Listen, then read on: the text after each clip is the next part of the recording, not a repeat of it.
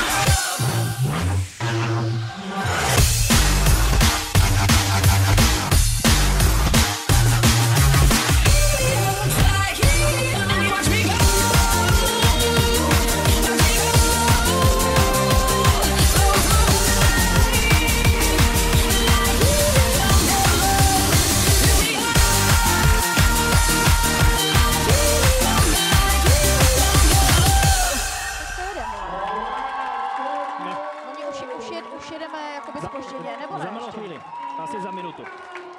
Jo, jo, jo, jasně.